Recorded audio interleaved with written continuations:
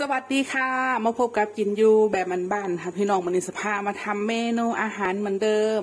เมนูมันนี้มีอยู่สองอย่างเนาะค่ะ พี่น้องอย่างแรกก็คือ ซุปฟักทองค่ะ พี่น้องนี่ค่ะ ซุปบักอือเดนูสเฮซุปบักอือให้เบิ่งนะคะพี่น้องซุปแบบว่าใส่ข้าวขัวหัวหอมเลยค่ะ พี่น้องบ่แม่นซุปฝรั่งเนาะค่ะนี่ค่ะหนูก็จะเอาฟักทองมาต้มกับบักพริกน้ำค่ะ พี่น้อง และอีกเมนูหนึ่งก็คือสือแกงเส้นค่ะพี่น้องแกงวุ้นเส้นหรือแกงหล่อนบันเท่านี่นะคะใส่ปลากระป๋องนะคะแต่ว่าแกงเส้นในนู้สมบูรณ์เฮ็ดให้เบิ่งค่ะ พี่น้องเพราะว่านู้เฮ็ดหลายคลิปมากเลยค่ะ แต่มื้อนี้นู้สิเฮ็ดซุปบักอื้อให้เบิ่งค่ะพี่น้องนี่ค่ะก่อนอื่นเดี๋ยวนู้สิต้มบักอื้อก่อนค่ะพี่น้องต้มฟักทองให้มันเปื่อยแล้วค่อยเอามาตำคือบักเขือนี่นะคะพี่น้องเดี๋ยวเข้าต้มบักอื้อกันเลยค่ะ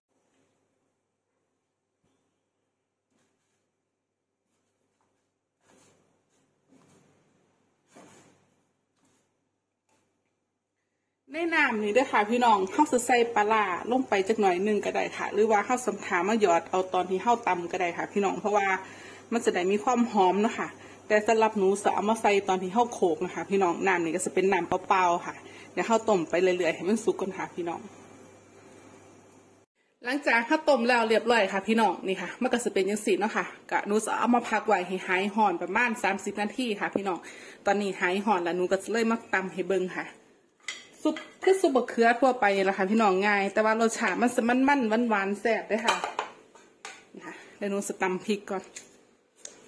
บ่ว่าซุปหยังเลยค่ะพี่น้องหนูสมัครใส่บุพริกสดต้มลงไปน้ำหนูหนูมีความรู้สึกว่ามันหอม แล้วก็เวลาหนังก็ใส่พริกป่นลงไปน้ำมันก็จะเพิ่มความหอมขึ้นอีกค่ะ ค่ะบะอือใส่ลงไปเลยค่ะยังหอมๆอยู่เลยค่ะพี่น้อง เออจะมีความเหนียวความมันแซ่บแซ่บพี่น้องนี่มันอ่อนหนูก็เลยใส่ทั้งเปลือกเลยค่ะ มันจะได้แซ่บ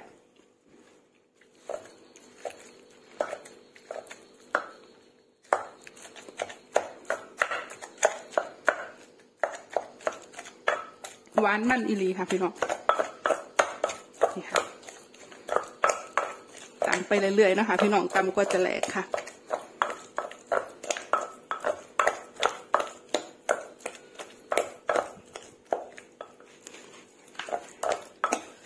ละคนก็สตีว่ามันเป็นสีบ่เป็นแต่แซ่บมันยังสีบ่แม่นนี่ยค่ะพี่น้องแซ่บเฮ็ดเข้าไปแท้ๆแล้วแซ่บนี่ค่ะหนูก็สิตำประมาณนี้เนาะค่ะพี่น้องแล้วหนูก็เริ่มปรุงค่ะปรุงของหนูก็สิใส่ใส่น้ำลงไปหน่อยนึงค่ะ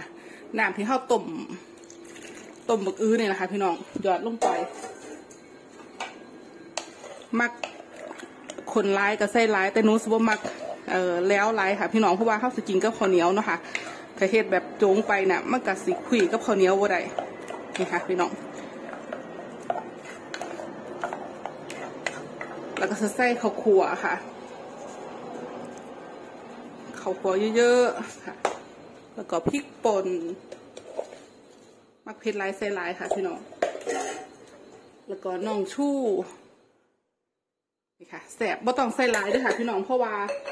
ปลาทองมีความหวานความมันแล้วเขามันแสบอยู่แล้วค่ะน้ำปลามือนี้ใส่ปลาขวดค่ะ แล้วก็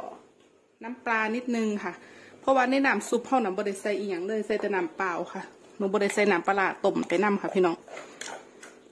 นี่ค่ะ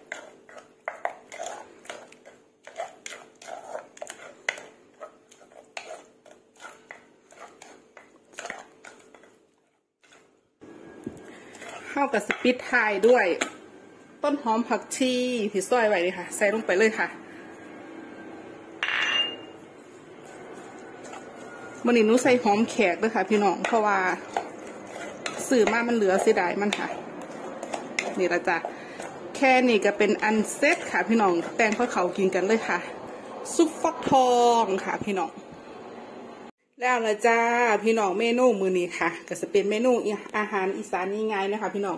อย่างแรกนูจะให้เบิ้งนี่ค่ะพี่น้องซุปฟักทองรูซุปบึกอือนี่ค่ะแซ่บแซ่บพี่น้องนี่ค่ะมันจะมีความหวานความมันของฟักทองบวกข้าวคั่วหัวหอมค่ะพี่น้องเฮ็ดลงไปนะคะใส่ลงไปพี่น้องสุดยอดค่ะนูอยากให้ลองเฮ็ดกินเบิ้งนะคะพี่น้องผู้ใดบ้านเคยกินหรือผู้ใดเคยเฮ็ดแล้วก็สหัวมันแซ่บค่ะนี่ค่ะเอาข้าวเหนียวตุยขึ้นเบิ้งไข่ๆก็หลาบแล้วเลยละค่ะพี่น้องผักกระสมี่นี่ค่ะ เม็ดกระทินค่ะพี่น้องที่นูปอกไว้ค่ะ แล้วก็หอมแขกหอมแขกนูมันหลายหนูก็เลยเอามากินกับมาคุยกับนี่เลยค่ะ แล้วก็มีสะเดาเหลืออยู่หน่อยนึงค่ะ พี่น้องแล้วก็ผักกาดขาวค่ะผักกระสมีประมาณนี้นะคะพี่น้องแล้วอีกอย่างหนึ่งก็คือ แกงเส้นค่ะ พี่น้องแกงหมุนเส้นเส้นปลากระป๋องนี่ค่ะเฮ็ดง่ายๆบานๆค่ะ พี่น้องแซ่บสดหอนๆค่ะใส่ไก่ใส่กาหนูก็เฮ็ดดูแล้วหนูก็เลยคิดอยากใส่ปลากระป๋องค่ะแซ่บเพื่อกันค่ะ พี่น้องใส่ผักอีตูได้หลายๆหอมๆค่ะ นี่ค่ะหนูใส่ให้เบิ่งหวนหวนหวนหอนหอนค่ะ พี่น้องมื้อนี้หนูกินกับข้าวเหนียวด้วยค่ะข้าวเหนียวคุยกับซุปกับยางค่ะแซ่บค่ะพี่น้องขอบคุณหลายเด้อค่ะ พี่น้องทุกผู้ทุกคนที่เขามารับชมค่ะ มากดไลค์กดแชร์กดติดตามให้ขอบคุณกำลังใจที่มีให้กันเสมอค่ะ ทั้งเพื่อนเก่าเพื่อนใหม่เนาะค่ะ พี่น้องมาบอกน่วหัวมวนกันได้มากินเขาในกันค่ะ พี่น้องบ้านนี้ก็เป็นบ้านง่ายๆ แตงเขาแตงยูแตงกินสู้พี่สู้น้องนี่ละค่ะ มาจ้า กินเขาด้วยกันค่ะ